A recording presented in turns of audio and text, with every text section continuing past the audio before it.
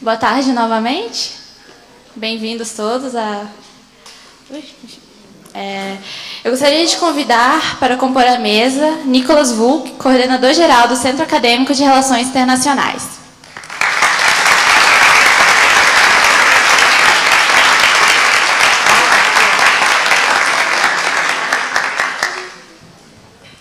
Também gostaria de convidar o professor Dr. Eiichi Sato, diretor do Instituto de Relações Internacionais da Universidade de Brasília.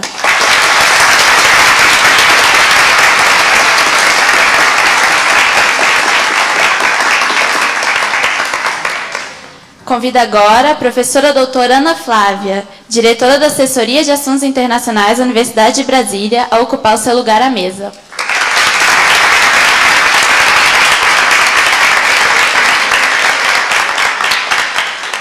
Por fim, é com muita honra que gostaria de convidar o excelentíssimo senhor ministro de Estado, embaixador Antônio de Aguiar Patriota, a ocupar o seu lugar à mesa.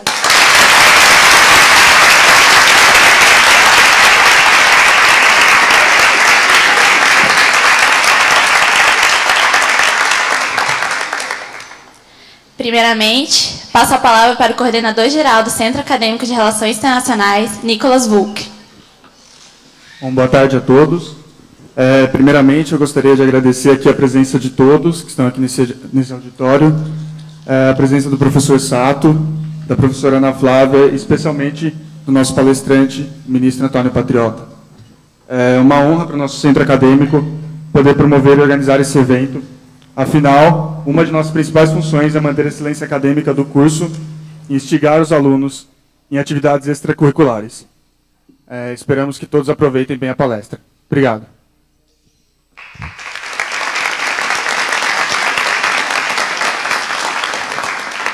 Com a palavra agora, o professor Dr. Eiichi Sato, diretor do Instituto de Relações Internacionais da UNB.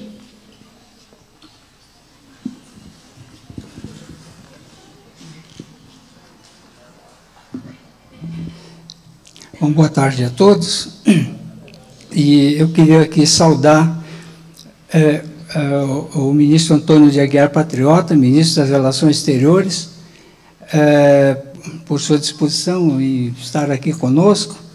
É, eu queria apenas dar dois ou três dados, acho que não é necessário a gente ficar se estendendo aqui no currículo do senhor ministro, que já é bem conhecido de todos, por razões variadas, todos o têm acompanhado mas, é, é, além de ministro agora, foi secretário-geral do Ministério das Relações Exteriores é, em 2009, 2010, foi embaixador do Brasil em Washington é, entre 2007 e 2009 e também ocupou a subsecretaria de Assuntos Políticos do Ministério das Relações Exteriores entre 2005 e 2007 é, e, e, também foi responsável pelo planejamento diplomático é, do Ministério das Relações Exteriores em 2003.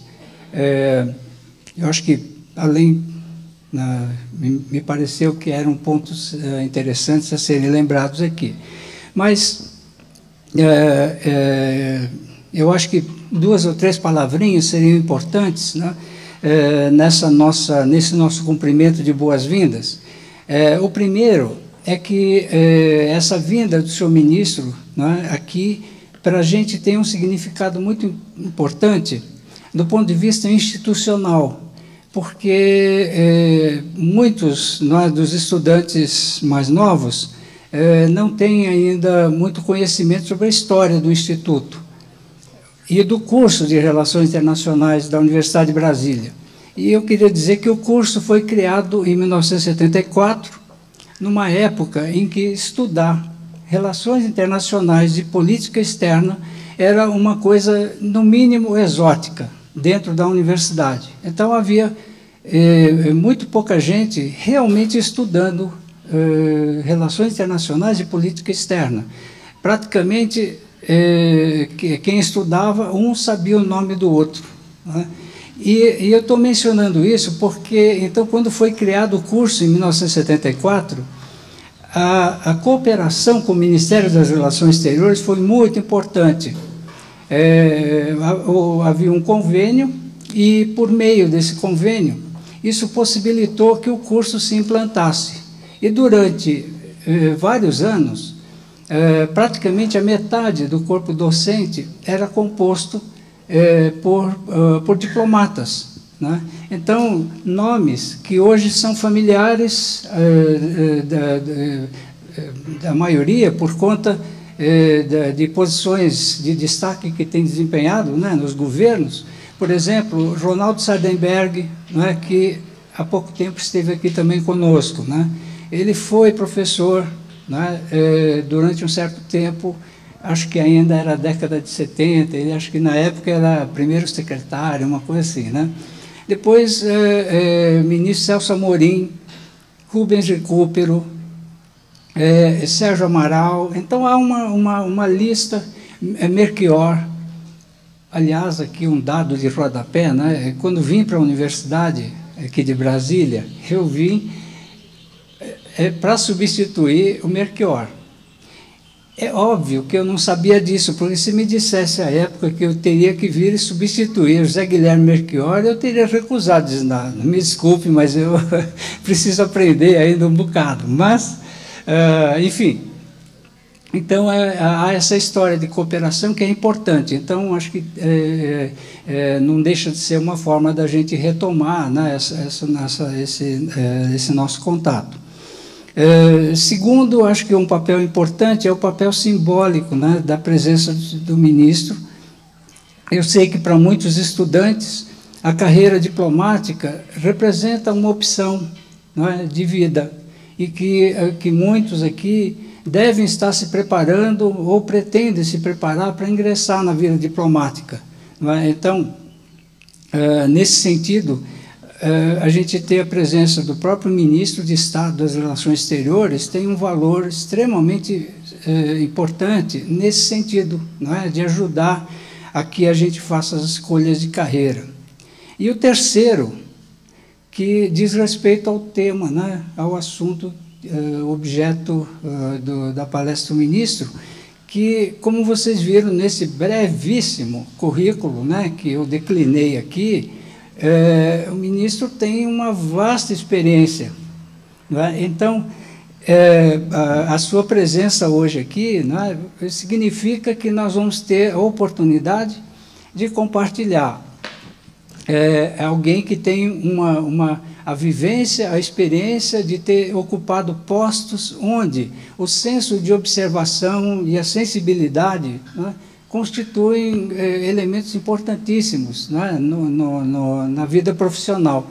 E, portanto, eh, devem trazer, quer dizer, significam certas visões eh, um tanto diferentes daquelas que os estudantes estão habituados a ver em sala de aula, que é basicamente né, do nosso mundo acadêmico. Né? Então, é, é, é, acho que é uma oportunidade de avançar seus conhecimentos e principalmente suas percepções acerca da política externa e das relações internacionais. Enfim, eu queria dar as boas-vindas aqui ao, ao ministro é, é, e que aceite de, de nossa parte né, os agradecimentos por dispor de seu tempo para vir compartilhar conosco nessa tarde, né? Enriquecendo esse nosso espaço de convivência. É, e, e, com isso, então, eu é, agradeço muito, em termos até pessoais, e, e, também queria cumprimentar o Centro Acadêmico de Relações Internacionais por essa realmente louvável iniciativa. Vocês estão de parabéns. Muito obrigado.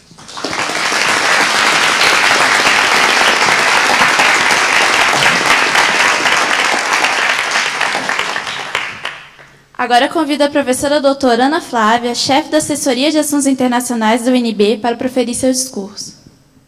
Excelentíssimo senhor ministro de Estado, Antônio de Agar Patriota, em nome do reitor da Universidade de Brasília, eu gostaria de dar as boas-vindas e dizer que, infelizmente, o reitor não pôde vir porque ele é presidente do Conselho do Consúnica, Conselho Superior da Universidade.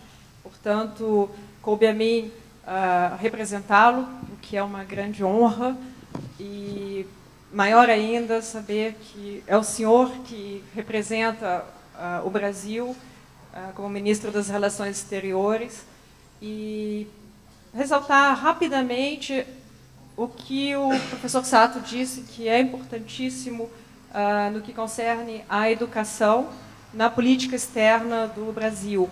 Gostaria de agradecer-lhe por todo o apoio que o Ministério tem dado à educação e desejar-lhe também boa sorte com o programa Ciências Sem Fronteiras, que é um salto gigantesco, e dizer que a UNB estará sempre à disposição para colaborar no que for possível em programas de cooperação internacional do qual nós possamos fazer parte. Temos aqui também o professor José Flávio Sombra Saraiva, que já foi chefe da assessoria internacional, e que é o cargo que eu ocupo agora, e como chefe da assessoria internacional, eu preciso agradecer publicamente sempre ao Itamaraty, a figura da conselheira Almerinda Carvalho, uh, também ao Instituto Rio Branco, pela oportunidade de promover a cooperação internacional e de fortalecer os elos que a UNB tem historicamente com o Itamaraty e deixar a mensagem para o senhor de que uh, nós trabalharemos sempre juntos porque reconhecemos a importância do Itamaraty para o crescimento da universidade no Brasil e da UNB em particular, e somos muito gratos por essa participação. E vocês, futuros candidatos ao Instituto Rio Branco, estudem bastante, tenham sucesso, e nós, professores, ficamos sempre muito orgulhosos de vê-los daqui a alguns anos, é, vestidos de terno e gravata ou salto alto, como temos algum, alguns casos aqui, né? E isso fortalece muito a nossa motivação para trabalhar. Muito obrigada, ministro, mais uma vez, muito obrigada pela, por ter vindo. Obrigada.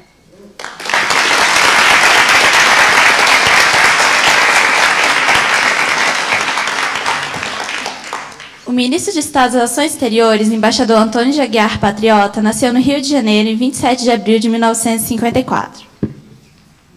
Foi secretário-geral das Relações Exteriores de outubro de 2009 a dezembro de 2010, embaixador do Brasil em Washington de 2007 a 2009, sub, subsecretário-geral político do Ministério das Relações Exteriores de 2005 a 2007, chefe de gabinete do Ministro das Relações Exteriores em 2004 e secretário de Planejamento Diplomático do Ministério das Relações Exteriores em 2003. No exterior, serviu também na missão permanente do Brasil junto aos organismos internacionais em Genebra, de 1999 a 2003, onde, por dois anos, foi representante alterno junto à Organização Mundial do Comércio. Na missão permanente do Brasil junto às Nações Unidas em Nova York, em 1994 a 1999, onde integrou a delegação brasileira ao Conselho de Segurança da ONU, nas embaixadas do Brasil em Caracas e em Pequim, e na delegação permanente em Genebra. Entre 1992 e 1994, foi subchefe da assessoria diplomática do presidente Itamar Franco. Concluiu o curso de preparação à carreira diplomática do Instituto Rio Branco em 1979. Sua tese para o curso de altos estudos do Instituto Rio Branco, intitulada O Conselho de Segurança após a Guerra do Golfo, a articulação de um novo paradigma de segurança coletiva, foi publicada em 1988. É casado com Tânia Cooper Patriota, representante do Fundo de População das Nações Unidas para Colômbia e Venezuela, e tem dois filhos, Miguel e Thomas. Convido agora o ministro a proferir sua palestra. Muito obrigado a todos vocês e queria agradecer em particular o diretor do Instituto de Relações Nacionais, professor Riti Sato, a professora uh, Ana Flávia, que eu conheço já de algum tempo e que eu sei que tem participado em muitos projetos comuns que envolvem Itamaraty, e sobre sobretudo o aluno aqui do meu lado, Nicolás uh, Vunk, que representa o Centro Acadêmico de Relações Internacionais, porque é, me informaram que foi uma iniciativa dos alunos uh, o convite para que eu estivesse aqui hoje. De modo que eu fico muito feliz de saber isso. E, para mim, é uma alegria ver gente sem terno gravata e sapato alto, porque eu estou rodeado desse tipo de indumentária mais séria e, assim, encontrar tanta gente de camiseta e bermuda porque já descontrai desde a saída e me permite assim, me sentir num ambiente uh, propício à conversa, à troca de ideias. Mencionar também o professor Sombra Saraiva, que é um antigo colaborador aqui na relação entre a UNB e, e o Itamaraty, examinador de muitas teses de CAI, e sempre uma voz muito lúcida que nós respeitamos. outros membros, eu trouxe aqui alguns colegas diplomatas, quem tiver de terno e gravata à esquerda e sapato alto, vocês já sabem que são colegas. Mas queria aproveitar um pouco esse tempo com vocês, hoje, uma sexta-feira à tarde, é, para falar de algumas ideias simples, básicas, um, e transmitir também algumas mensagens para aqueles que estarão assumindo no futuro posições de comando no Brasil, pode ser na carreira diplomática, poderá ser no setor privado, mas qualquer que seja a atividade profissional que vocês desenvolverão, vocês estarão trabalhando é, em benefício de um Brasil uh, muito diferente daquele em que eu cresci, ou que os professores aqui cresceram. Então, primeiro ponto a destacar, uh, porque ele é importante, é ele que abre perspectivas de atuação externa, uh, é o que o Brasil representa hoje em dia. Claro, todo o país está em evolução, assim como o cenário internacional está em evolução. Mas a evolução do Brasil, na última década especialmente, é uma dessas histórias que muitos estudiosos uh, estarão examinando e aprofundando no, nos anos a vir no plano internacional, nas grandes universidades, porque realmente uma combinação uh, bastante extraordinária, virtuosa, de, eu diria, três principais vertentes. Em primeiro lugar, a evolução política, o fato de estarmos caminhando a passos seguros na direção de uma democracia cada vez mais madura, um, madura na, nas características básicas de uma, de uma democracia, que é a liberdade de imprensa, o pluralismo, um, a alternância no poder sem sobressaltos, e tivemos aqui esse espetáculo que uh, pode parecer normal, e de fato é, é bom que no Brasil pareça normal, mas que não é assim necessariamente em outras partes do mundo, de um governo mais orientado para o centro-direita ser substituído por um de centro-esquerda ou de esquerda, uh, sem que isso provocasse maior turbulência em ambiente de, de respeito, um, pluralismo e de uh, busca de convergência naquilo em que a convergência é possível, claro, sem uh, também descaracterização das plataformas que levaram à eleição dos governantes. Um, é, hoje em dia, o ar que nós respiramos, para vocês todos, isso aí é um dado da realidade, mas para gerações anteriores foi uma conquista, uma conquista é, que até hoje mesmo na nossa presidenta da República, Dilma Rousseff, é, deixou marcas, as marcas da prisão, da tortura, do combate, de modo que nós não devemos subestimar o valor dessa, dessa conquista e dessa característica política hoje no Brasil. E quando falamos de democracia, devemos lembrar que toda democracia é um processo inacabado um, aqui as conquistas são importantes, mas ainda muito resta por fazer. Né? E, por exemplo, esse ano estamos celebrando o ano dos afrodescendentes, mas ainda sabemos que no Brasil o afrodescendente normalmente está em situação um, menos favorecida economicamente, uh, tem que fazer um esforço suplementar. No Itamaraty mesmo, se vocês entrarem e passarem pelos corredores, não vão encontrar muitos afrodescendentes, apesar de todo o esforço que está sendo feito para que o corpo de diplomatas, de funcionários, seja cada vez mais representativo e reflexo do que é a sociedade brasileira em seu conjunto. Uh, então, isso para dizer que precisamos continuar nessa batalha por uma democracia plena, pelos direitos humanos, pela igualdade de gênero, pela igualdade de condições para os deficientes físicos, uh, para uma série de, de uh, outras áreas em que precisamos progredir e que eu tenho certeza com os progressos dos últimos anos conseguiremos cada vez mais. É, a outra questão que também é, não deixa de ser uma história de êxito e uma história de conquistas é, que não passam desapercebidas pelo mundo e que nos dão muita autoridade para nos posicionarmos inter, internacionalmente são os progressos na área econômica e social. É, nos anos 80, o Brasil era conhecido como país da inflação galopante, da dívida externa, que ninguém sabia se algum dia poderia ser paga. Hoje em dia temos reservas internacionais de mais de 350 bilhões, a inflação sob controle, um crescimento que é, enfim, às vezes oscila um pouco para baixo, mas o ano passado, se nós olharmos até todo o Mercosul, aqui em torno de 7,5%, 8%, taxas muito elevadas, para o padrão brasileiro, e isso não só um uh, resultado que é significativo em termos quantitativos, mas também a qualidade do crescimento que uh, leva bem-estar, progresso, uh, melhoria nas condições de vida de um segmento realmente se pode dizer nacional, ainda com poucos focos de pobreza extrema, e hoje em dia o Brasil, diante da possibilidade de realização de um sonho histórico, quem imaginaria que a gente pudesse afirmar, como afirmou a presidenta Dilma, nós temos condições de acabar com a miséria no Brasil. Acabar. Isso também porque a miséria foi mapeada através de censos bem realizados pelo IBGE, um trabalho que em si mesmo existe um, um uh, digamos, um avanço no, no, que se poderia chamar de tecnologias sociais, o mapeamento da pobreza e da miséria no Brasil, mas estamos encontrando a fórmula através de experiências, de erros, de equívocos e acertos uh, e de propostas autônomas também, isso aí eu acho que traz muita confiança na capacidade de superarmos obstáculos, nessa possibilidade de sermos um país mais justo, um país que não só é a sétima economia do mundo, daqui a pouco a sexta ou até a quinta, mas uma economia que traz oportunidade de emprego, de realização ao maior número possível de brasileiros. Como nós fomos já conhecidos e ainda, em certa medida, somos até percebidos como uma sociedade muito desigual, isso aí não deixa de ser revolucionário também e um, é, um, é um dado da realidade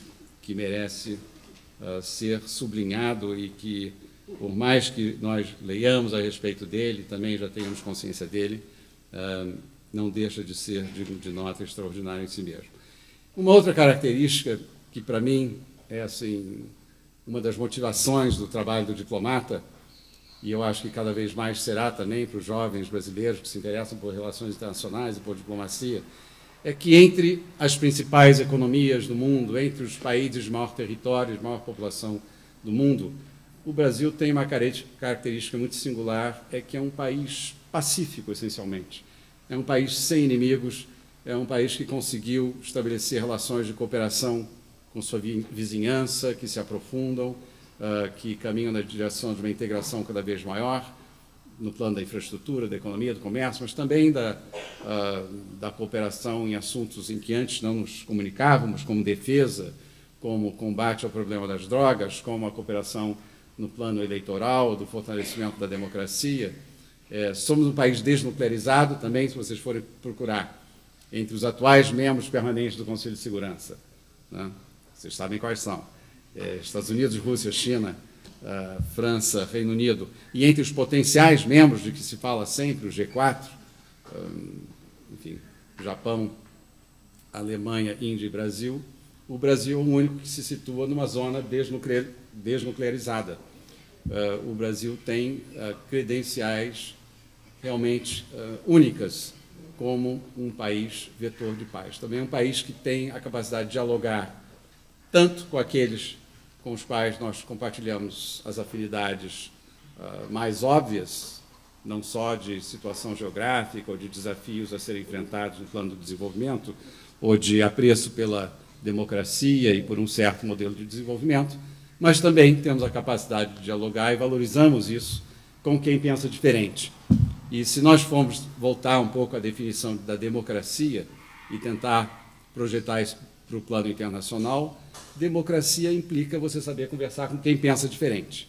Né? Você não, não, não queremos ter mais um governo no Brasil constituído unicamente por senadores, deputados e políticos que abracem exatamente o mesmo ponto de vista, a mesma causa, as mesmas posições geopolíticas. E assim acontece no plano internacional, embora, infelizmente, eu acho que ainda existe um déficit uh, no plano internacional de capacidade de interlocução, de capacidade de se colocar na posição do outro, uh, mesmo quando o outro representa, enfim, posturas que uh, não são posturas que nós consideraríamos normalmente desejáveis para o nosso próprio país. Juntando essas três características e acrescentando um pouco aí a dimensão também ambiental, até quando dei o título eu falei de desenvolvimento sustentável, porque eu estou aqui muito sob um, o espírito preparatório e a perspectiva da realização da Rio Mais 20 no ano que vem, vai ser um dos grandes desafios para o Itamaraty, para o governo brasileiro. Uh, lembrar também que entre os grandes países territorialmente, economias maiores, mais desenvolvidas ou emergentes, o Brasil se situa numa certa vanguarda em termos da conciliação dos pilares econômico, social e ambiental naquilo que uh, constitui ou define o desenvolvimento sustentável. E é com essa capacidade de liderança que nós assumimos uh, de bom grado uh, essa responsabilidade e esse encargo de organizar uma conferência no ano que vem, por tudo que nós representamos. Primeiro, que o tema principal da conferência é a economia verde e o combate à pobreza. Então, consolidar a ideia de que uh, um mundo ambientalmente mais saudável não é só o um mundo que conserva uh, as florestas tropicais ou que promove um, métodos mais limpos de produção, uh, mas é também um mundo que é capaz de erradicar pobreza, de levar saneamento a regiões onde ele não existe e criar oportunidades de emprego, um emprego limpo também para aqueles que de outra forma estariam sobrevivendo em condições subhumanas e indiretamente contribuindo uh, para uma economia não sustentável. Significa também questionar padrões de consumo, significa também criar uma nova cultura uh, de preservação uh, do nosso patrimônio ambiental, planetário, para gerações sucessivas. E eu acho que é um, um tema assim fascinante ainda mais para a juventude porque alia tanto aspectos de alta tecnologia, uh, aspectos que têm a ver com o desenvolvimento científico, tecnológico, econômico, mas com o idealismo, o idealismo da preservação uh, do nosso planeta para, as próximas gerações. Bom, tendo comentado um pouco todos esses avanços do Brasil nos últimos anos e de forma muito acelerada nessa última década, uh, torna-se mais fácil uh, abordar a questão da política externa e das relações internacionais do Brasil porque a primeira constatação a fazer é que nós dispomos hoje de um capital uh, que não dispunhamos até poucos anos atrás. Uh, capital para ser investido num, numa multiplicidade uh, de, de, iniciativas. E aí a questão que se coloca, o desafio né, para a política externa, para o governo, é como investir esse capital, qual a maneira mais inteligente, na, tanto na promoção de interesses específicos, brasileiros, e aí vou falar um pouquinho, o que, que são interesses específicos? A gente tem que olhar quais são os grandes desafios do Brasil nos próximos anos. Por exemplo, nossa competitividade industrial. Aqui todo um debate no Brasil hoje em dia.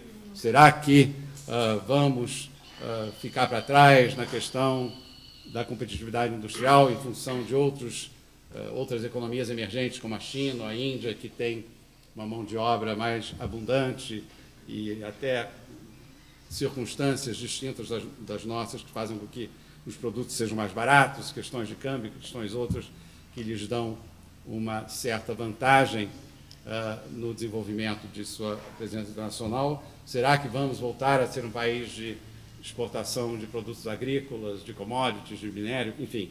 É, é uma, é, é, é, uma conversa que precisa ser, uh, precisa ser mantida e que aponta na direção de uma necessidade de capacitação humana, daí o Ciências Sem Fronteiras, entre outras iniciativas, também de análise de onde estão as nossas forças, quer dizer, não querer competir desnecessariamente uh, investindo mal recursos em alguma tarefa em que nós não vamos, não vamos conseguir nos afirmar uh, no plano internacional.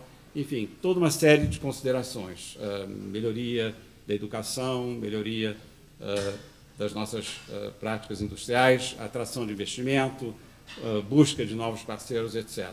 Então, isso para falar um pouquinho uh, dos interesses que são próprios ao nosso estágio de desenvolvimento, ao estágio que o Brasil se encontra hoje em dia.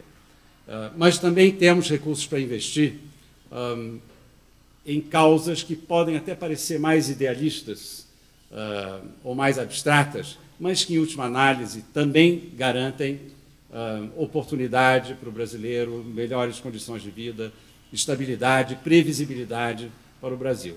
Então, uh, essas causas mais abstratas ou mais voltadas para uma veia idealista seriam, por exemplo, as questões ambientais, a promoção dos direitos humanos, a promoção da própria democracia, a democracia sendo um sistema de governo que, além das suas características moralmente defensáveis ou inerentes positivamente, também tem a característica de, ser, de trazer mais estabilidade. Então, até mesmo por uma questão de pragmatismo, a democracia eh, ela é mais interessante do que formas autoritárias, absolutistas de governo, que, como a gente pode observar hoje, por exemplo, no mundo árabe, levam a sublevações e a interrupções e a, e a imprevisibilidade numa escala que pode ser altamente desestabilizadora.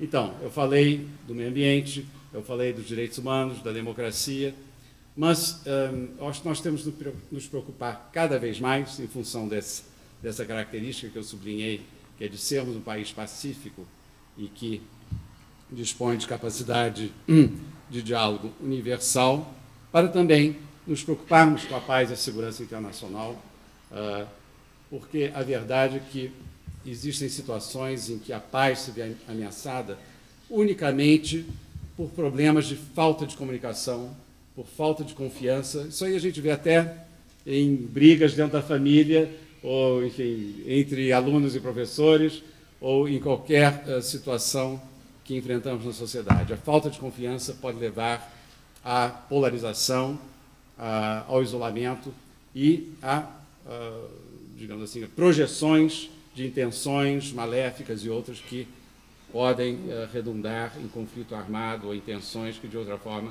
uh, poderiam ser evitadas. E eu acho que a presidenta Dilma Rousseff ela encarna muito bem essas duas vertentes uh, nas posturas que ela assume. Por um lado, sendo uma gestora muito exigente, que tem exigido de todo o governo, acho até, eu já falei isso com meus colegas, um nível superior de profissionalismo. Nós, no Itamaraty, estamos muito acostumados a sermos considerados uma chancelaria séria, competente, de bons profissionais, mas nós não podemos cair uh, no erro da complacência.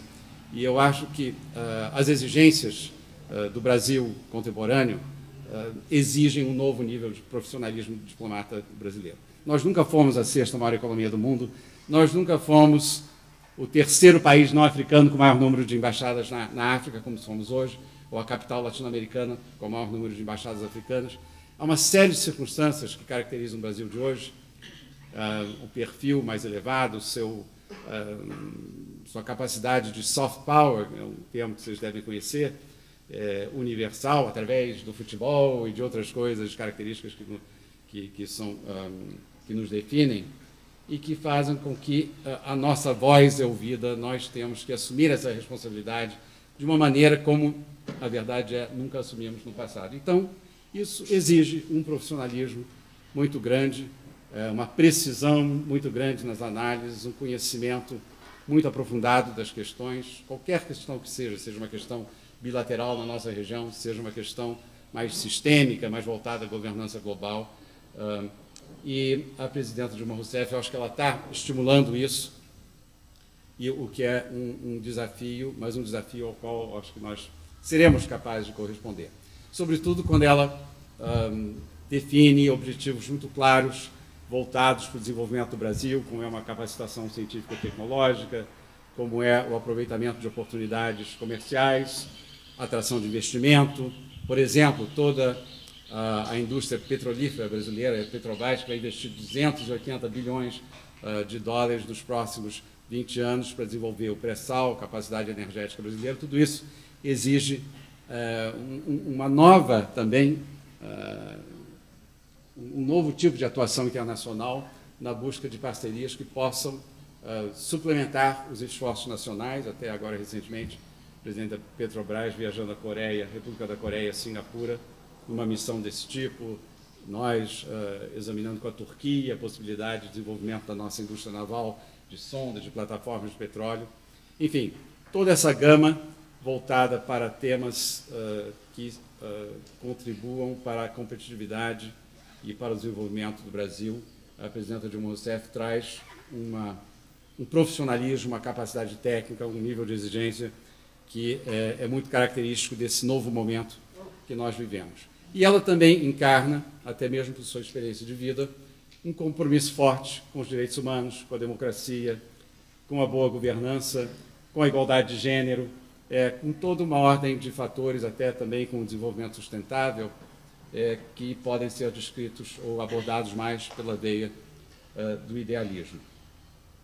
bom, tendo feito essas considerações, eu queria comentar um pouco alguns desafios mais específicos voltados para a atuação, que fazem parte da atuação do Itamaraty e que nos ocupam no dia a dia.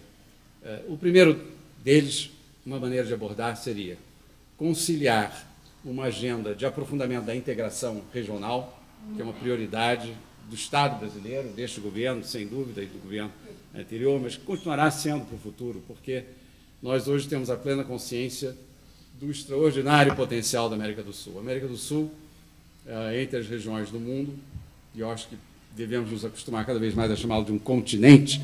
Né? No passado havia quem chamasse de subcontinente, mas se a gente olhar para o mapa, ele é muito parecido com a África, América do Sul, né? inclusive separado por um canal, assim como a África é separada pelo canal de Suez. E com características muito próprias de autossuficiência energética, uh, autossuficiência na produção de alimento, ausência de conflito interestatal, as tensões que possam surgir aqui e ali são abordadas de maneira amadurecida pela via do diálogo, da diplomacia hoje em dia. Então, pode-se dizer que é uma região de democracia, de paz, de crescimento econômico, uh, com um potencial grande. Mas esse potencial não será realizado sem uma ação governamental muito decidida que fortaleça uh, a vertente uh, positiva, que produza dinâmicas virtuosas e seja capaz de combater outras dinâmicas mais negativas, como a do crime organizado, do narcotráfico, um, das tensões históricas que podem aflorar novamente. E aqui nós nos orgulhamos, claro, em Itamaraty, de termos herdado, graças ao, ao, ao, trabalho do Barão do Rio Branco, um país sem questões fronteiriças, mas no nosso entorno existem muitas questões ainda mal resolvidas da época colonial. Hoje mesmo estava aqui o, o chanceler do Suriname falando do contencioso deles com a Guiana, tem a questão da mediterraneidade da Bolívia, que é também um assunto não resolvido, embora todas essas questões também sendo resolvidas paulatinamente.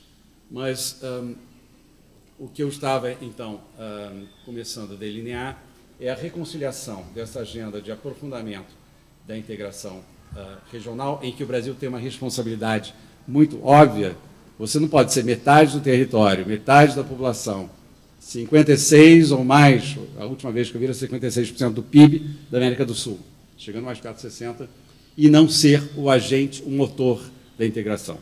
Seria absurdo esperar que o Paraguai promovesse a integração sul-americana com a Colômbia ou que a Bolívia o fizesse com o Uruguai. Aqui é nossa responsabilidade em grande medida e uma responsabilidade que tem que ser exercida, bom, com liderança, sem dúvida, mostrando caminhos, e eu acho que nós temos sido capazes de fazer isso, democracia, crescimento, justiça social, mas também mostrando sensibilidade, compreensão para as vulnerabilidades e as assimetrias uh, que caracterizam aqui a nossa região. Eu, eu, tenho uma folhinha que eu fico até sempre perto da minha mesa para me lembrar todo dia que, por exemplo, uh, o PIB do Uruguai e da Bolívia são 2% do PIB brasileiro. O PIB da Guiana e do Suriname, 0,2% do PIB brasileiro. Ou seja, assimetrias brutais, vertiginosas. E um, se nós não olharmos para esses vizinhos como parceiros, como parceiros uh, cujo desenvolvimento e prosperidade e uh, fortalecimento político, democrático, uh, faz parte da nossa própria agenda, como se fosse uma, uma questão nacional, eu acho que nós não teremos a capacidade de lidar com esse desafio que é potencialmente muito benéfico para o Brasil, para a região, para o mundo, eu diria. E aí, essa era a primeira parte do meu argumento sobre reconciliar integração regional com uma presença mundial. É, poucos de vocês terão notado, mas é um dado é, curioso e interessante, o fato de que só a partir do ano passado nós passamos a ter relações diplomáticas com virtualmente todos os países do mundo. É, e um número crescente de embaixadas quase 140 embaixadas ao, lado, em, em, ao redor do mundo. Ou seja, o Brasil, talvez pela primeira vez na sua história, tenha uma verdadeira presença global. Nós sempre tivemos influência internacional significativa, através das Nações Unidas, através da OMC, um, pela, até pelo exemplo do que nós representamos como sociedade, pelo nosso crescimento e desenvolvimento, pela, uh, pelas relações de cooperação que nós havíamos estabelecido uh, com crescente profundidade a partir da redemocratização do Brasil. Mas um, falar de uma presença global, mundial, nos termos que nós podemos falar hoje, isso é uma, é uma circunstância nova. E, mais uma vez, traz sérias responsabilidades porque o que, que acontece? À medida que você vai sendo uma economia mais importante, entre as dez maiores, à medida em que o seu modelo de desenvolvimento é examinado por outros países, outros povos, com interesse, como se fosse um modelo, um exemplo, é, à medida que nós conquistamos uh, espaço nos grandes debates internacionais, o que acontece é que você não é mais representado por nenhum outro país. Você se torna um ator singular único. Ninguém pode representar os interesses do Brasil. Então, a nossa voz, uh, que é cada vez mais ouvida, tem que ser uh, levantada e as palavras que nós pronunciamos têm que ser pronunciadas com muito cuidado. Elas têm que refletir uh, uma reflexão, aqui estou usando refletir, reflexão não é a melhor maneira, mas tem que refletir, tem que refletir um, um processo interno de, de amadurecimento das questões uh, que, um, que represente um verdadeiro esforço de formular posições sobre determinadas questões, sejam elas comerciais, financeiras, uh, ambientais, paz e segurança ou qualquer uh, outro, outro tema. E isso aí, mais uma vez, eu acho que exige um novo uh, grau de profissionalismo, uma capacidade de análise e de interlocução nova. A boa notícia é que eu vejo entre os jovens diplomatas que entram uh, no Itamaraty agora, que tem entrado nesses últimos anos, toda essa revolução na tecnologia da informação faz com que muita coisa que a gente tinha que fazer antes, agora você consegue em dois minutos. Volta e meia eu faço uma pergunta na, no meu gabinete, assim, qual o principal parceiro comercial do país X? Aí alguém está lá com, não precisa nem de um iPad, né? tem um telefone uh, iPhone consegue a informação em dois minutos. Ou seja, há uma abundância de informação, há uma celeridade na obtenção da informação que nos permite uh, trabalhar de uma maneira assim, rápida, eficiente e conseguir uh, material para análises, para posicionamentos, como nunca antes fomos capazes. Mas, ao mesmo tempo, essa mesma abundância ela é, traz a desinformação ela traz o viés ideológico que encobre a realidade, ou que uh, encobre também uh, agendas que podem ser mais ou menos compatíveis com aquilo que nós procuramos. De modo que o nosso trabalho de análise, de depuração da informação e de busca de um, de um posicionamento em, em, sintonia com aquilo que nós representamos, não deixa de ser menor, continua a exigir uh, muito trabalho e muito profissionalismo. Eu queria comentar esse último ano um pouquinho naquilo que nós tentamos fazer, justamente reconciliando o nosso firme propósito integracionista na nossa região com essa agenda uh, mundial, universal, essa capacidade de atuação global. Uh, e se nós examinarmos um pouco as, visitas, as viagens e as visitas recebidas pelo presidente Dilma Rousseff, acho que dá para chegar à conclusão que os espaços estão sendo ocupados uh, e que a presença brasileira uh, se está afirmando mais ou menos em consonância com os desafios. Mas quem sabe, depois nas perguntas e respostas, na, na, conversa que a gente estabeleça, podemos examinar alguns temas mais especificamente. É, a presidenta, por exemplo, visitou logo no início do ano os quatro países do Mercosul. O Mercosul continua sendo um uh, bloco uh, fundamental no nosso projeto integracionista sul-americano.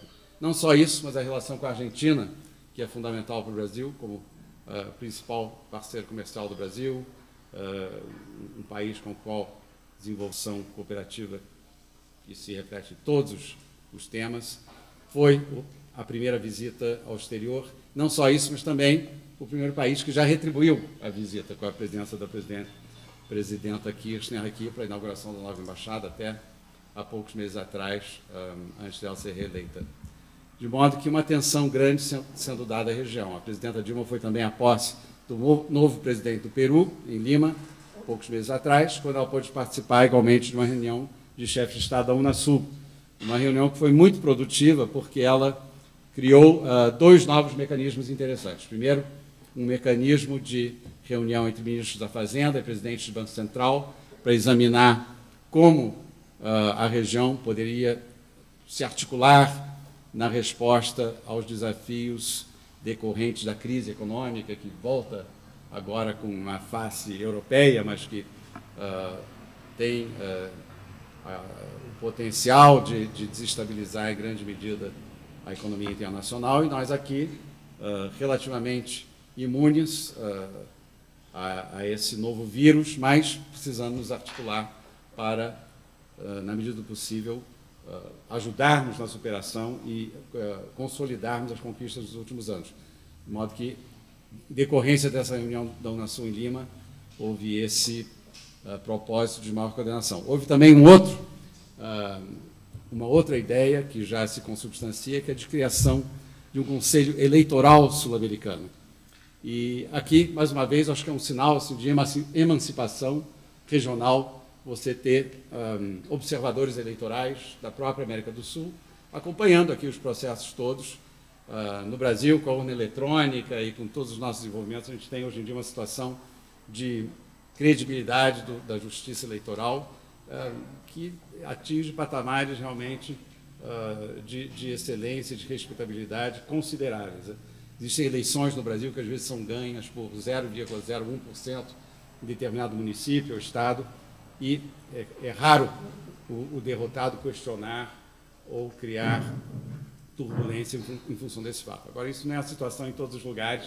Uh, existem, inclusive, temores grandes em alguns países da região de que eleições muito apertadas possam dar lugar a questionamentos que levem a turbulência e até mesmo a violência uh, em maior escala. De modo que também esse é um passo importante. É, passando um pouco para outras regiões, se olharmos, por exemplo, os principais parceiros comerciais do Brasil, a presidenta Dilma visitou a China, e não só visitou a China numa uh, visita oficial bilateral que produziu uh, resultados importantes, sobretudo nessa ideia de diversificação da pauta comercial, de maior ênfase na cooperação científica e tecnológica. Com a China já existe alguma, mas pode, por exemplo, a gente constrói um satélite uh, em, em comum, mas podemos fazer muito mais, e a ideia era justamente colocar ênfase nesse tipo de agenda. Além da bilateral, houve uma reunião dos BRICS na ilha de Hainan, no sul da China, e isso aí foi um primeiro contato com a liderança uh, da Federação da Rússia, da Índia e agora também da África do Sul, que se incorporou ao grupo dos BRICS. Um, a visita do presidente Obama ao Brasil uh, foi uma oportunidade de, enfim, uh, lançarmos um olhar sobre o estado da relação bilateral. Eu, como ex-embaixador em Washington, acompanhei muito de perto essa, essa relação no, nos últimos anos, e é uma relação que tem tudo para se tornar mais equilibrada, mais madura, na medida em que caminhamos um pouco em direção a um mundo multipolar. E é nesse espírito que temos trabalhado com nossos parceiros norte-americanos. Um, outras visitas e, e, e viagens dignas de nota eu mencionaria a ida à Assembleia Geral da ONU, eu acho que reflete aí o compromisso brasileiro com o sistema multilateral.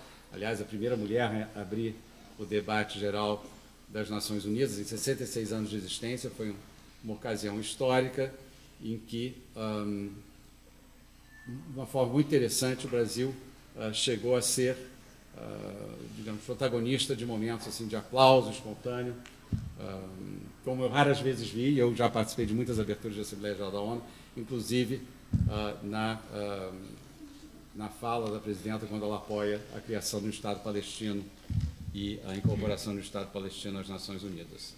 Eu mencionaria também a parceria estratégica com a União Europeia. Durante o governo Lula se falava muito, ah, o Brasil está virando terceiro mundista e só coloca as fichas nas relações com os países em desenvolvimento. Eu acho que isso era compreensível até certo ponto, porque o aspecto mais inovador da política do ministro Celso Amorim, com quem eu trabalhei uh, de forma muito próxima, e também do presidente Lula, uh, se uh, manifestou não só na integração aqui regional, mas também na, no aumento da presença brasileira na África, no Oriente Médio, na criação de novas coalizões como o IBAS, né, que reúne Índia, Brasil África do Sul, novas cúpulas como a ASPA, que criou pela primeira vez na história um, um foro de aproximação entre as lideranças sul-americanas e do mundo árabe, os próprios BRICS, que surgiram nessa época, de modo que o que tinha de novo, de inovador uh, e de mais, assim, um, ah, que mais chamava atenção era essa agenda.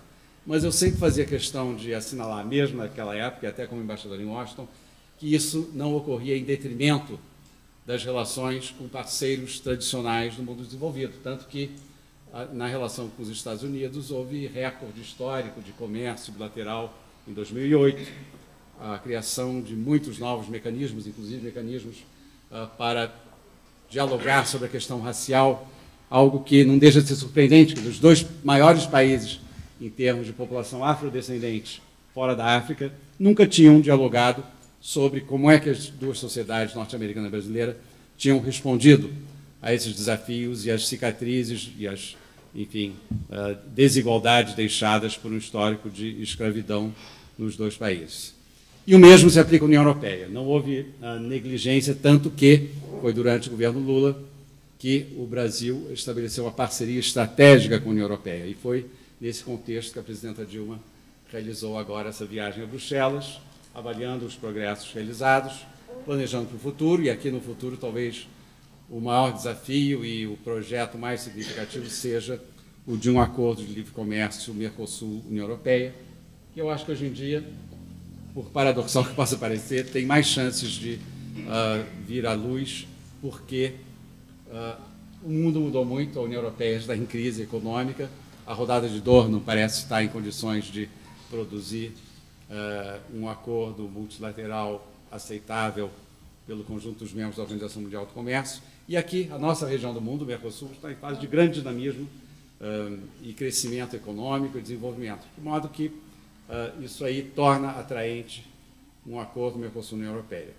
A presidenta, nessa mesma viagem, visitou a Bulgária por razões que têm a ver com a, a própria história familiar dela, mas acho que aí nós conseguimos criar uma narrativa que associou um aspecto sentimental também com interesse por um país menor da União Europeia, eh, por definição também, parte da parceria estratégica, com um nível de desenvolvimento mais baixo e com o qual nós podemos desenvolver parcerias em, em, planos interessantes. E com a Turquia, que é um país de extraordinário dinamismo econômico hoje em dia, como vocês sabem, terão acompanhado toda essa aproximação, que levou até mesmo aquela declaração de Teherã, no final do governo Lula, fruto de uma capacidade, uma confiança muito grande entre as duas chancelarias e também de uh, nível comparável de desenvolvimento econômico, científico, tecnológico, a Turquia hoje também conhecendo taxas elevadas de crescimento e uma modernização, uh, uma capacidade de articulação internacional uh, muito grande. Finalmente, eu queria comentar a viagem da presidenta à África, realizada agora há, há poucas semanas, em que ela compareceu à cúpula do IBAS em Pretória, mais uma vez, atualizando, renovando o compromisso entre essas três grandes democracias multiétnicas do mundo em desenvolvimento, que são Brasil, Índia e África do Sul, e que desenvolvem hoje em dia, inclusive, uma atuação muito coordenada no Conselho de Segurança das Nações Unidas, por estarem as três presentes este ano, até mesmo nas respostas a algumas situações, como a da Síria e da Líbia, adotando uh, posturas um, coordenadas, mas também uma visita a Moçambique e Angola. Visita a Moçambique particularmente é, eu achei assim uh, acertada no, e, e, e, até se beneficiando de um, um, momento fortuito que foi a celebração de uh, ah, 25 anos de morte do líder, do, do, criador, enfim, do pai da nação moçambicana, que é o ex-presidente Sambora Machel, e nessa ocasião presentes uh, muitos líderes históricos africanos nessa mesma cerimônia. Acho que foi um momento muito bonito com a presidenta Dilma, a única uh, chefe de Estado não africana, lá em meio a Graça Machel, ao Kenneth Kaunda, uh, ao presidente, no caso era o vice-presidente da Tanzânia, o próprio presidente Zuma da África do Sul e outros líderes. além disso, renovando o diálogo com Moçambique, que é um dos principais recipiendiários de cooperação brasileira. Em seguida, uma visita a Angola também realizada no mesmo espírito, a, a aproximar a cooperação, renovar investimentos, houve todo um contato com o setor privado, que foi muito interessante nessa viagem. Como vocês sabem, grandes companhias brasileiras como Odebrecht, Camargo Correia e outras, hoje envolvidas em Vale e em grandes projetos, uh, grandes projetos na África. Para começar a concluir e ter um pouquinho de tempo para perguntas, um, ah, eu queria falar de um desafio importante para um país como o Brasil, um cenário de acelerada transformação internacional, que é o de aproveitar tudo isso que nós comentamos aqui, né? esse bom momento político, econômico, o fato de sermos um vetor de paz, o fato de termos uma agenda de integração que está dando certo e uma projeção internacional hoje universal, global, para construir um mundo de maior cooperação e quando eu digo isso, pode até parecer assim um pouco fantasioso ou romântico, mas a verdade é que quando a gente fala da multipolaridade, né, que seria a nova característica uh, do cenário internacional em gestação, tem que levar em consideração pelo menos dois aspectos. Primeiro, que não é uma multipolaridade uh, isonômica ou equilibrada. Existem polos muito mais poderosos do que outros.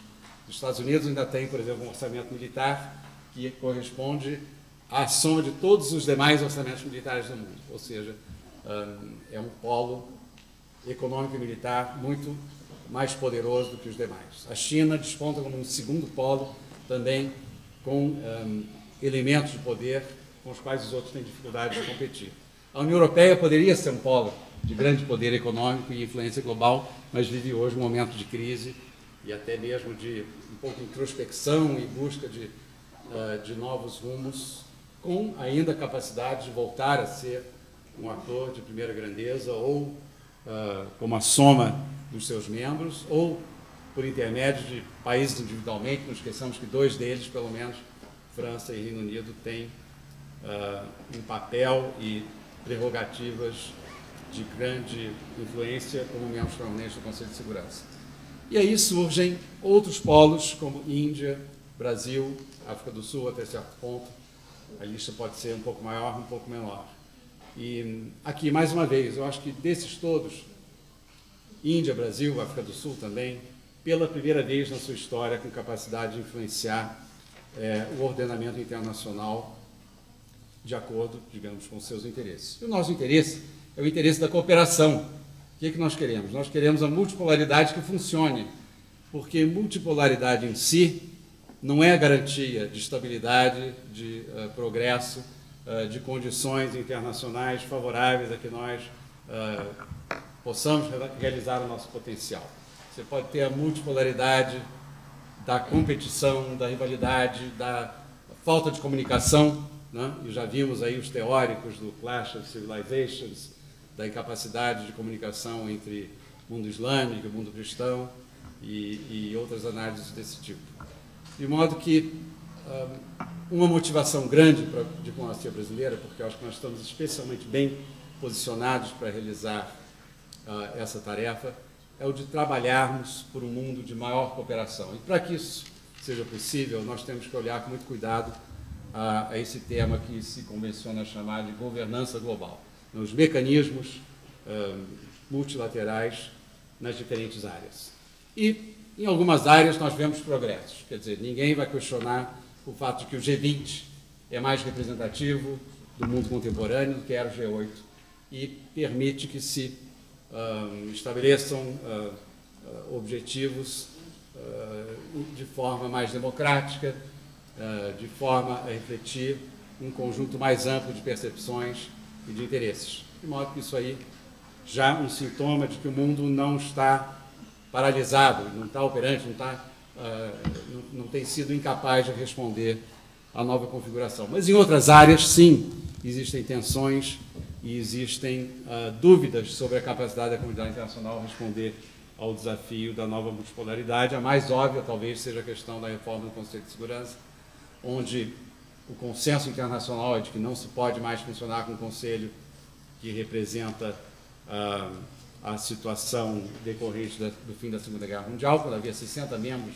nas Nações Unidas, hoje é 194 membros, se a Palestina entrasse, eram 195, no entanto, o Conselho ainda tem 15 membros, uh, bom, tinha 11, passou para 15 em 60 e poucos, mas os membros permanentes ainda são os mesmos, isso aí nós vemos que está criando tensões, porque um, mesmo quando se chega a algum consenso, e o consenso está sendo difícil alcançar em situações como Líbia, Síria e outras, um, não é uma decorrência automática uh, a ideia de que a comunidade internacional vai se sentir representada por aquele consenso. Eu vou lhes dar um exemplo. Uh, uma das resoluções sobre a Líbia, que foi adotada por consenso no Conselho, determinava que o Gaddafi deveria ser submetido ao julgamento da Corte Penal Internacional. Ora, Meses depois, acho que não chegou a meses, talvez tenha sido semanas, a União Africana resolveu adotar uma decisão dizendo que não, nós não consideramos que o Gaddafi deva ser, deva ser submetido à Corte Penal Internacional, ausente uma uh, assim, democratização, outras circunstâncias e outras, uh, outros uh, avanços na situação líbia. Eu me pergunto, se houvesse um membro permanente africano, ou dois no Conselho de Segurança, será que a União Africana se sentiria tão livre para questionar uma decisão consensual do Conselho? Provavelmente não. Então, esse tipo de desobediência pode se transformar na regra no futuro. E a gente tem que se preocupar muito com o que eu chamo de falência sistêmica, ou seja, o sistema começa a não funcionar mais. E aí, que, qual, qual, é o plano B? Não existe sistema B. Não existe um backup para o Conselho de Segurança se ele não funcionar. O que existe é a rivalidade, é uh, unilateralismo uh, e, e uh, arbitrariedade. Isso aí, um pouco para ilustrar o fato de que, um, enfim, eu, eu, acho que a, a, a maior parte do que eu disse aqui provavelmente expressava um otimismo em relação ao Brasil, em relação ao que o Brasil pode fazer no mundo, mas também a gente tem que ser muito atento para esses aspectos mais ameaçadores e, e negativos. Não é só no, no, no, plano da paz e da segurança. Se nós olharmos para a questão ambiental, agora haverá em Durban, na África do Sul, a 17ª Conferência das Partes da Convenção sobre Mudança do Clima das Nações Unidas e do Protocolo de Kyoto. E quem diz que nós vamos conseguir chegar a um consenso sobre um segundo período de compromissos para o Protocolo de Kyoto, que parecia, alguns anos atrás, ter sido um passo extraordinário na questão do equacionamento do aquecimento global o mais provável é que uh, surjam dificuldades grandes em, em Durban. Eu ainda, assim, por profissão eu sou, tenho que ser otimista e por natureza também sou. Eu acho que existem possibilidades de articularmos com a União Europeia, com outros parceiros, entre os países em desenvolvimento, uh, uma plataforma que represente um progresso. Mas a verdade é que existem tensões sérias uh, nesse âmbito, tensões que são ameaçadoras para o futuro do planeta. E uh, mais um exemplo, uh, para falar um pouquinho também do âmbito comercial, do, do, qual eu toquei, no qual eu toquei relativamente pouco hoje. Na OMC, nós temos essa situação de que não vamos chegar a um acordo sobre uma rodada de negociações que começou muito bem em 2001, como uma promessa de uma rodada de desenvolvimento que uh, conseguiria disciplinar todo o comércio de bens agrícolas, que é um, um segmento que fica fora das disciplinas multilaterais, e isso aí dando lugar às distorções que nós conhecemos, os subsídios milionários dos países desenvolvidos que afetam as nossas exportações, a de países africanos e de outros. Bom, é, tudo indica que não chegaremos a um, a, um, a um, entendimento, e aí a questão que se coloca é o que fazer no OMC. É, nos contentarmos, nos resignarmos dessa situação, partirmos para acordos bilaterais, mas o acordo bilateral pode parecer interessante, assim, no, no, no varejo, não, mas, é, no, no, no interesse específico de um, de um produtor, de um setor, mas em termos sistêmicos, mais uma vez, ele enfraquece o sistema multilateral como um todo. Isso para dizer que essas tensões uh, são reais, uh, a evolução não é uh, automaticamente benéfica, benigna, positiva. Mas o que eu creio é que o Brasil pode dar uma contribuição para que uh, haja maior cooperação, para que a governança uh, nessas áreas todas evolua de forma positiva. Isso não acontecerá espontaneamente, vai exigir muito trabalho e aqui a minha, minha, minha colocação final é me dirigindo a vocês todos como futuros profissionais das relações internacionais, pode ser em qualquer âmbito, inclusive na diplomacia, espero que muitos uh, decidam fazer o concurso para a carreira diplomática, é que um, haverá muita demanda pelo Brasil. É, agora, nós temos que um, nós temos que responder a esse desafio de um novo profissionalismo. Uh, nós temos que ser mais sul-americanos. Isso é uma bandeira que eu levanto muito no Itamaraty. É, apesar de toda essa retórica da, da, integração, a gente ainda conhece pouquíssimo aqui a nossa vizinhança. Né? É uma vizinhança grande, mas quantos já uh, quantos saberão citar, sei lá, um autor da Guiana? Né? Quantos saberão, aliás, o exemplo que eu gosto de dar é o seguinte: quantos saberão que o presidente da Guiana é da religião hinduísta, um país vizinho? Muito poucos saberão no Brasil. Ou quantos saberão que muito em breve a Colômbia será a segunda economia da América do Sul? É, não precisa nem ir tão longe. Outro dia eu estava no Instituto Histórico Geográfico e teve muita gente que ficou surpresa em ouvir dizer que a Colômbia é a segunda maior população da América do Sul. Enfim, tudo isso só para ilustrar o desconhecimento, a necessidade de suprir esse conhecimento em relação à, nossa vizinhança. Nós nunca seremos um país de estatura global, influente, uh, capaz de articular um, agendas nos mais diferentes temas se nós não tivermos essa capacidade de aprofundamento da nossa relação aqui com a vizinhança. Isso por um lado. E por outro lado, eu acho que nós temos que ser mais multipolares também. Né? Nós nos acostumamos ao longo do tempo, vocês cada vez menos e os mais jovens, provavelmente muito menos que a minha geração. Mas a ler assim a imprensa norte-americana, inglesa, francesa e achar que a gente está bem informado sobre o que acontece no mundo. A gente tem que ler a imprensa indiana, chinesa, uh, do mundo árabe. Al Jazeera é uma potência hoje em dia no mundo árabe. Uh, nós temos que desenvolver capacidade de nos comunicarmos nessas línguas todas. Então, Haiti, muito pouca gente fala ou árabe, ou mandarim, ou russo. É, qual seria outro? Bom, na Índia não faz muita falta, porque o inglês é a língua da comunicação oficial. Mas, sobretudo, nessas três línguas, nós estamos fazendo um esforço é, concentrado agora de mandar jovens diplomatas que se disponham a ficar um tempo mais prolongado no Cairo, ou em Moscou, ou em Pequim, para saírem da sua primeira experiência profissional nesse país, depois de, pode ser até cinco anos, com um conhecimento verdadeiro dessas línguas, uma capacidade de absorver informações diretamente uh, desses uh, importantes polos emergentes, sem ter que passar pela interpretação e pelas análises uh, do mundo ocidental. Pronto, são essas as colocações que eu queria fazer por hoje, agradecendo a atenção de todos e é o que a gente pode passar juntos. Muito obrigado.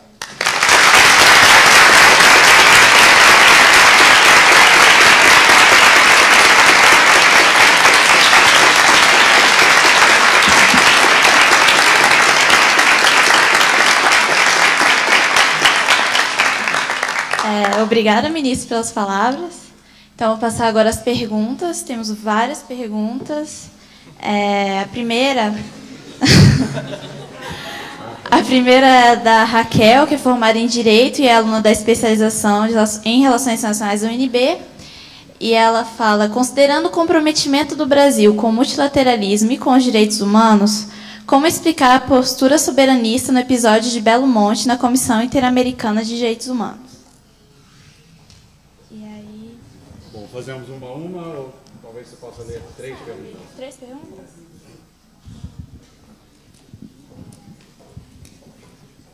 A outra é do Pedro Henrique, do terceiro semestre da graduação em Relações Internacionais. E ele fala: Vossa Excelência citou os benefícios da democracia e a luta brasileira para sua conquista. Também enfatizou o papel crescente do Itamaraty como motor global. Tendo os dois fatos em mente, o que explicaria a abstenção brasileira no Conselho de Segurança em questões como a Síria e a Líbia? Mais uma. E aí a, essa foi feita pelo Vitor Castelo Branco e pela Lorena, que são o Vitor é aluno da pós-graduação e a Lorena da graduação. Eles dizem o seguinte: O senhor comentou que o Brasil é o único país do G4 em uma zona desnuclearizada. O senhor não acha que isso dificulta o pleito do Brasil a um assento permanente no Conselho de Segurança? A Índia, por exemplo, já conseguiu o apoio dos Estados Unidos. Não seria interessante a renúncia do TNP? Interessantes perguntas, muito boas. É, mas elas são boas porque elas também permitem aprofundar alguns temas aqui. Primeiro, primeiro lugar, é, essa sobre direitos humanos, compromisso com o multilateralismo. Quem é que fez essa pergunta? Ah, você. É, compromisso com os direitos humanos, com o multilateralismo, como é que isso se coaduna com Belo Monte. Né? Eu acho que na pergunta também tinha uma palavra soberanista.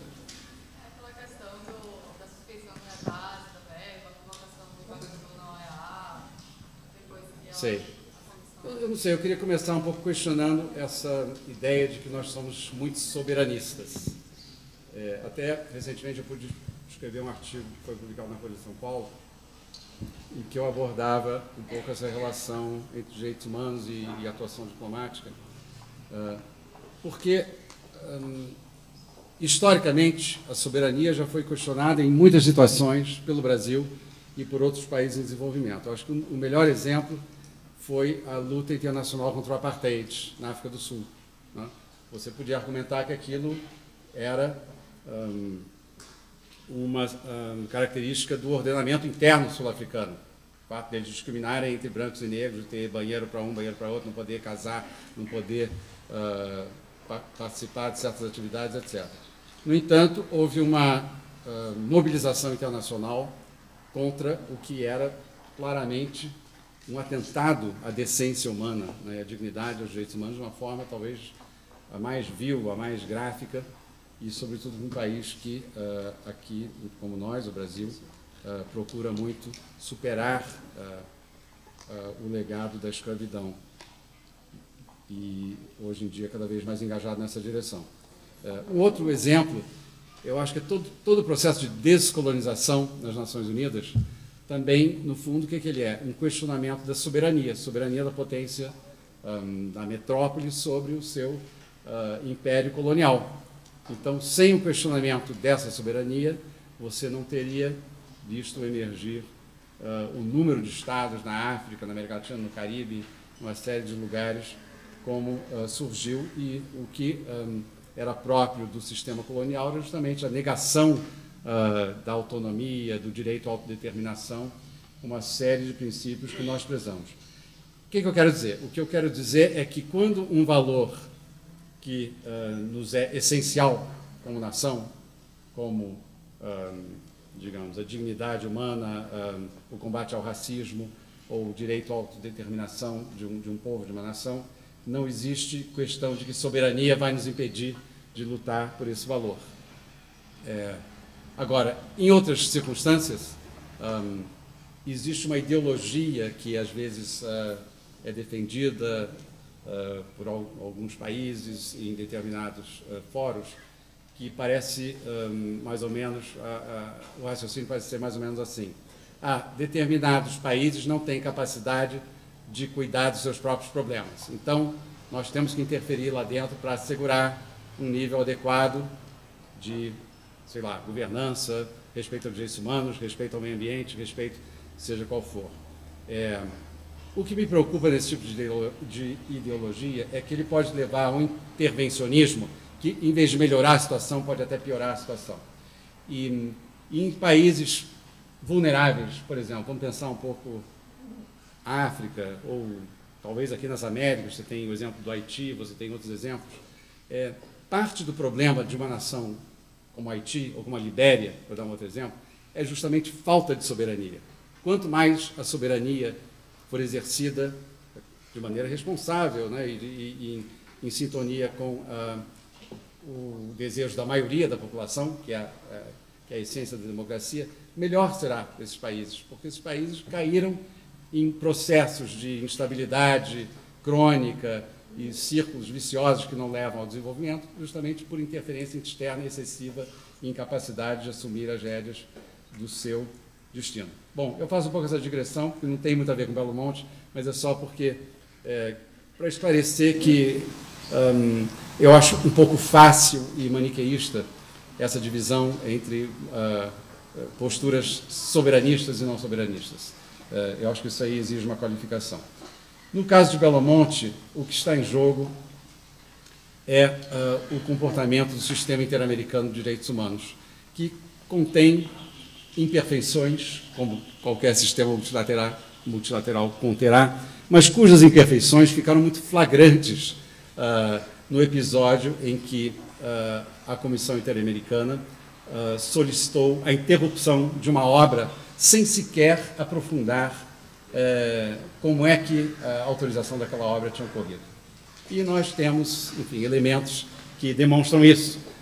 os membros da Comissão Interamericana não sabiam uh, tudo que tinha sido feito desde os anos 70, primeiro para redesenhar uh, a engenharia uh, da, da, hidrelétrica, para, de forma que ela não afetasse territórios indígenas, de levar em consideração um, condicionantes ambientais um, e de observar padrões elevados, acho que você pode dizer até entre os mais elevados do mundo, de respeito pelos indígenas e pelo, uh, pelo meio ambiente. Eu até dei uma declaração desse tipo. Quando você penaliza aquele que está entre os melhores alunos de uma classe, por ele ter chegado atrasado um dia, ou ter tido um, alguma imperfeiçãozinha no seu raciocínio, acho que você está desestimulando aos outros alunos da classe a chegarem naquele padrão. E é isso que eu acho que nós temos que evitar. Se um país que tem um alto grau de exigência ambiental, indígena, legislação avançada, etc., cumpre com ela e é criticado dessa maneira superficial, por um uh, organismo, tem alguma coisa que está errada. Então, uh, essa manifestação de descontentamento levou a uma decisão da Assembleia Geral da OEA, em El Salvador, alguns meses atrás, foi em maio, então já tem quase meio ano, uh, que reconhece que há alguma coisa no sistema interamericano que precisa ser examinado, porque houve uma determinação no sentido de fortalecer o sistema interamericano de direitos humanos. Fortalecer foi um eufemismo encontrado para dizer, vamos ver o que está errado e melhorar. E é nesse processo que nós estamos, participando uh, do processo de busca de fortalecimento, através de uh, consultas e coordenação com os outros países membros do sistema interamericano, para buscar maior previsibilidade, maior disciplina, uh, menos arbitrariedade, menos liberdade de ação de forma injustificada ou precipitada. É essencialmente isso. Uh, isso aí uh, pode se reconciliar muito bem, e se reconcilia, na, no meu entender, com um compromisso uh, muito elevado com a observação dos direitos humanos no plano nacional. Aliás, tem que reconhecer, eh, justiça deve ser feita à própria Comissão Interamericana, é o Sistema Interamericano de Direitos Humanos, na, na, contribuição que ele deu em, em, termos de denunciar abusos que eram cometidos por regimes, autoritários na América Latina, nas Américas, de modo geral, no passado. E é isso que nós queremos. Nós queremos um sistema que funcione, funcione de uma maneira que seja também. Um, há uma palavra em inglês que é difícil de traduzir, que é accountable, né? que dê uh, satisfação uh, aos seus membros que ele está que ele está trabalhando de uma maneira segundo os seus estatutos, as convenções e da maneira mais profissional possível. A segunda pergunta tem um pouquinho a ver com essa também. É, o, quem foi o aluno que fez sobre Líbia? Você. É.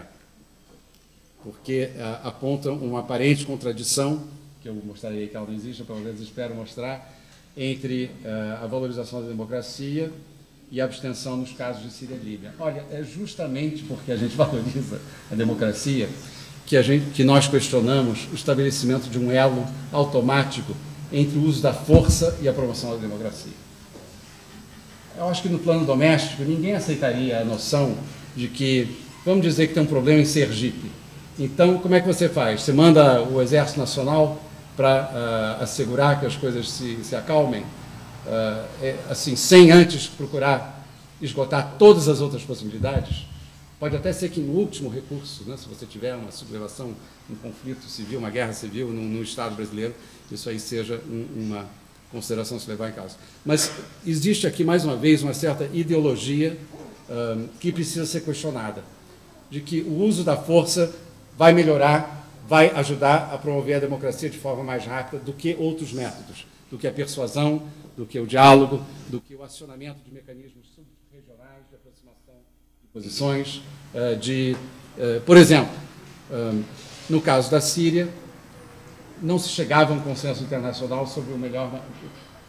Eu acho que eu devia até fazer um pequeno aqui, voltar atrás um minutinho para dizer que não há a menor dúvida que o Brasil está do lado dos manifestantes por liberdade, por democracia, por melhores formas de governo em todos esses países. Isso aí, nenhum de nós pode ser insensível e é nesse espírito que nós participamos dos debates. Então, é, quanto a isso, não deve permanecer dúvida alguma. Mas, ao mesmo tempo, é, e aqui eu volto a dizer que a primeira responsabilidade de um diplomata é você não agravar uma situação que já é potencialmente instável ou um, uh, uma, uma, uma, situação de tensão. Não, não, exacerbar tensões de uma maneira que depois torne mais difícil uh, um país encontrar o seu caminho. Um, nós confiamos muito na atuação dos mecanismos subregionais. Então, o que, que tem no mundo árabe? Tem a Liga Árabe, a Liga dos Estados Árabes, né? com sede no Cairo, o Brasil é um membro observador. E o que, que aconteceu no caso da Líbia? A Liga Árabe ela se colocou de acordo de que aquilo que estava acontecendo na Líbia era inaceitável. Então, o que, que grande parte da comunidade internacional fez? Seguiu aquela avaliação, suspendeu a Líbia do Conselho de Direitos Humanos, adotou uma primeira resolução por consenso, que determinava uma série de sanções contra a Líbia, inclusive é, um embargo de armas. Né? Até aí, tudo caminhava de uma maneira não polêmica ou não controvertida. A controvérsia surgiu numa segunda resolução em que a Liga Árabe, depois de um debate que foi polêmico internamente, chegou à conclusão que devia se estabelecer uma zona de exclusão aérea sobre o território líbio. bom, isso aí não foi uma, uma sugestão que tenha encontrado um consenso automático no Conselho de Segurança. Mas, na minha opinião, se nós nos tivéssemos atido a essa proposta, nós teríamos chegado a um consenso. O que dificultou o consenso e que levou a numerosas abstenções, naquele caso, no houve veto, uh, foi a inclusão de um parágrafo que falava em intervenção militar, além da zona de exclusão aérea, uma intervenção militar ser subcontratada, e aí não existem muitas subcontratações possíveis, a OTAN é, é o bombeiro de emergência que uh, tem condições de atuar numa situação como essa, a menos que você estabeleçam algum outro tipo de coalizão, e isso leva mais tempo. E isso aí é que uh, gerou um certo debate, porque não está óbvio que uma autorização militar para proteger civis vá conseguir proteger mais civis do que de outra forma uh, teria ocorrido se nenhuma intervenção tivesse sido autorizada. Está entendendo o meu, meu cálculo? Aí tem que ter até uma certa contabilidade. Digamos que uma não intervenção tivesse gerado 5 mil mortes. Mas se a intervenção gerou 10 mil, essa intervenção está justificada? Essa é uma pergunta legítima. E a gente tem que fazer essa pergunta. É, a mesma coisa quando você fala de genocídio. Ah, vamos intervir para salvar o povo, uh, enfim, chamamos o povo de XYZ em um país tal. Esse povo é composto por 40 mil habitantes. Se você chega lá e mata 140 mil, você eh, se comportou de uma maneira responsável perante o direito internacional? Obviamente que não. E eu estou até dando um exemplo meio assim, exagerado, porque, na verdade, uma única morte desnecessária já é um crime, ao ver, enfim, de um país responsável e que uh, preza a vida humana e que preza a paz e que preza o direito internacional. Então, é um pouco nesse espírito que a abstenção sobre a questão da Líbia uh, se deu. Uh, tínhamos dúvidas sobre se o remédio não era mais grave do que a doença e não provocaria outros sintomas e desestabilização numa escala maior do que ele ajudaria a remediar. E o que, que acontece hoje em dia? Eu acho que essas dúvidas foram muito, em ampla medida, justificadas. Pelo menos as dúvidas. Eu não estou dizendo que eu tenho certezas, mas uma abstenção, muitas vezes, é uma manifestação de dúvida. Quando você tem certeza, você vota a favor ou você vota contra. Né? Se você vota pela abstenção, você está sinalizando, olha, cuidado, aqui tem uma questão que precisa ser muito bem considerada. Isso é um aspecto da abstenção. Outro aspecto da abstenção é você preservar um espaço diplomático. Dizer, olha, eu não estou com essa colisão que acredita na força militar como meio de uh, proteger civis e, eventualmente, implantar a democracia. Eu acho que é esse tipo de mentalidade pode até ser, sob certo ponto de vista, um retrocesso civilizacional, é uma coisa que eu digo de vez em quando. Quer dizer, nós levamos séculos e séculos e séculos para desenvolver o direito internacional e a crença na capacidade humana de resolver conflito pelo diálogo, pela diplomacia, né? essa é a essência da diplomacia. Se você chega e agora vende como o último produto uh, né, da, da, da, das relações internacionais a ideia de que a força é que vai resolver tudo, eu acho que isso é altamente preocupante. E uh, um país como o Brasil, inclusive, que não tem, não faz parte de alianças militares, nem pretende fazer, eu acho que tem a responsabilidade de alertar para essa circunstância. No caso da Síria, é um pouquinho diferente. É um pouquinho diferente. E aí, o que, que o Brasil fez? O Brasil contribuiu para uma primeira manifestação do Conselho de Segurança numa circunstância em que ele estava altamente polarizado. Havia China e Rússia, por um lado, resistindo a qualquer manifestação, aí sim, talvez uma atitude um pouco mais soberanista, ah, argumentando que não era lícito se o Conselho se envolver numa situação que era uh, essencialmente de natureza interna, doméstica, e os membros ocidentais permanentes, Estados Unidos, França Reino Unido, uh, argumentando em favor de sanções ou de uma atitude uh, de maior interferência no que estava acontecendo lá. Foi pela atuação de países como o Brasil e até certo ponto Índia e África do Sul também, até organizamos uma gestão conjunta, que conseguimos uma primeira manifestação de consenso do Conselho de Segurança. Ainda em bases tímidas, mas foi uma coisa que aproximou. Subsequentemente, a polarização se exacerbou de tal forma que chineses e russos vetaram uma proposta ocidental e aí nós nos abstivemos. Mas nos abstivemos por quê? Porque nós não quisemos participar da dinâmica da polarização. A gente estava lá trabalhando pela convergência. Né? Se você está aqui uh, tentando aproximar dois primos seus que não se falam há cinco anos e você está lá quase conseguindo, de repente eles resolvem, sabe, uh, dizer que não, que tudo isso é uma perda de tempo, eu volto para minha casa, quero nunca mais ouvir falar do, do fulaninho, você se sente na obrigação de tomar partido por um ou por outro? Não. Você preserva o seu espaço de, num momento subsequente, voltar a aproximá-los. Enfim, não sei se é um exemplo assim que corresponde exatamente à realidade, mas um pouco esse espírito. E o que, que acontece?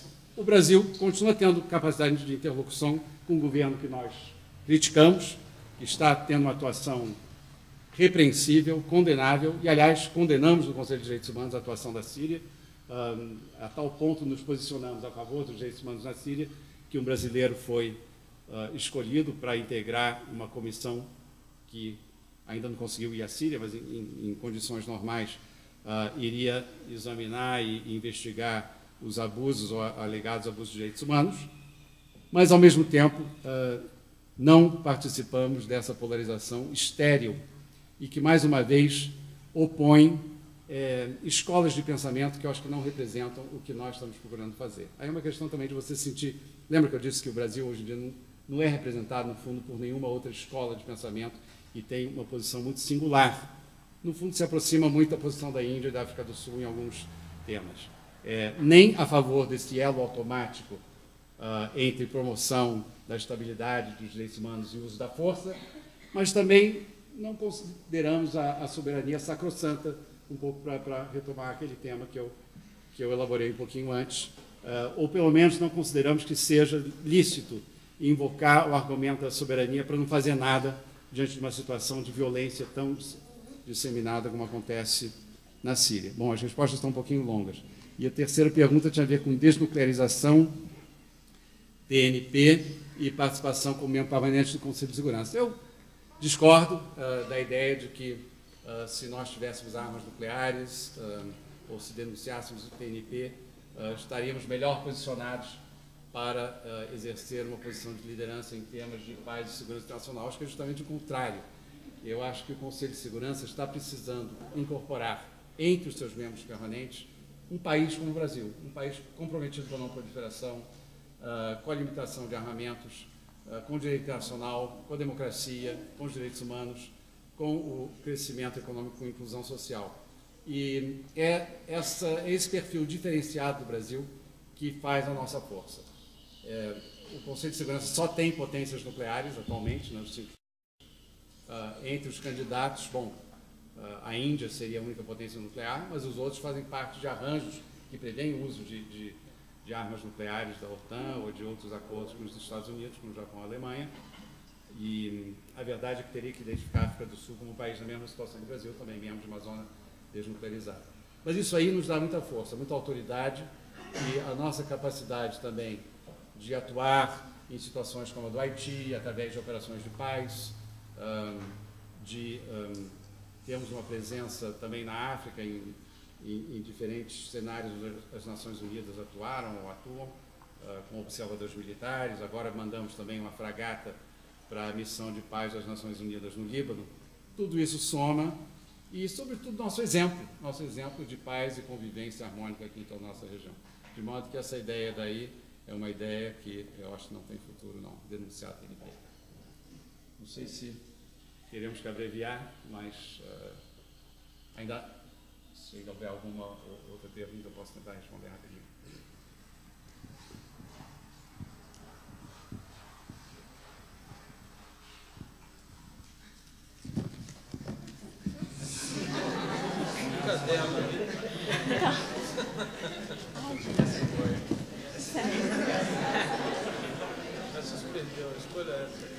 Bom, devido ao tempo, vou selecionar uma última pergunta é, do Jamerson Albuquerque, aluno da graduação.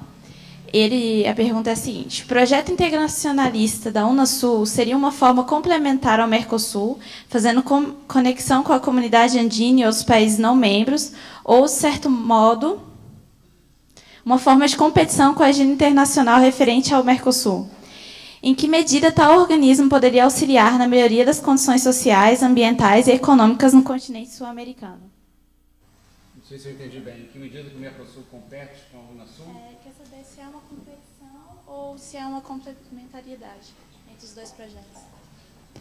É, a resposta simples e direta de que não é uma competição.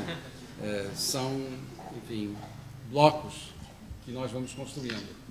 É, obviamente, se não fosse todo o progresso, toda a aproximação já realizada, em primeiro lugar com a Argentina, depois com o Mercosul, incluindo Paraguai, Uruguai, os membros associados, que incluem Chile e Bolívia, agora estamos também tentando aproximação com o Equador, uh, nós teríamos menos experiência em como trabalhar a integração regional. De modo que é um laboratório, assim, de certa maneira, muito útil o Mercosul para pensarmos de forma mais ampla a integração uh, sul-americana. E aí surge um pouco essa questão das, um, das identidades múltiplas. Até hoje eu estava conversando com isso, sobre isso com o chanceler do Suriname. Ele estava dizendo, ah, no meu país, às vezes questiona como é que o Suriname pode ser membro da CARICOM e membro da Unasul. E eu lembrei um livro que, se vocês não tiverem lido, eu, eu recomendo muito, daquele pensador indiano Amartya Sen, é, que chama-se Identidade e Violência. E ele argumenta, também simplificando aqui um pouquinho a ideia dele, de que um, quando você, quando não é uh, permitido a um povo, a uma nação, ou até a um indivíduo uh, ostentar identidades múltiplas, uh, o risco é você obrigar esse indivíduo, essa nação, esse, esse grupo, a se definir por um, características muito rígidas que acabam levando à violência eu acho que o melhor exemplo disso é Israel-Palestina. Né? Você não pode nascer em Israel e dizer, bom, eu vou resolver que eu não sou da religião judaica, eu quero ser budista, eu quero ser muçulmano, eu quero ser. É, é meio incompatível com a definição de Estado judeu, da forma como alguns, pelo menos em Israel, uh, concedem. É, de outra forma, aqui no Brasil, todo mundo pode se definir como quiser, uh, em termos políticos ou de afinidades uh, religiosas sexuais, outras, entendeu?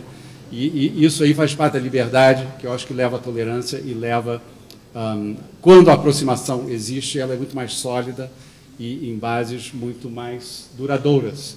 Tudo isso para dizer o seguinte: o fato de estarmos aqui comprometidos com a integração sul-americana não significa que o Suriname e a Guiana tenham que abdicar dos seus laços com a CARICOM. pode ser interessante para a América do Sul até ter esses dois países que têm um acesso privilegiado e uma capacidade de interlocução privilegiada com aqueles outros. Ao mesmo tempo, uh, está ocorrendo, vai ocorrer agora dentro de poucos dias, a reunião da APEC, no Havaí, né, que reúne os países da Orla do Pacífico. Alguns países sul-americanos são membros da APEC, outros não são. O Brasil nunca será, porque não é um país da Orla do Pacífico. Mas é interessante que o Peru seja, e que a Colômbia, a Colômbia não é, aliás, Peru e Chile, Chile. sejam. Hein? Chile é, Chile e Peru são, e a Colômbia está interessada em se tornar membro, até mesmo porque tem um eixo muito dinâmico lá, a gente quer saber o que está acontecendo. Uh, é, é uma maneira de responder à pergunta dizendo que o Mercosul é um bloco bem sucedido, sem dúvida nenhuma, ele multiplicou o comércio, os contatos, os investimentos.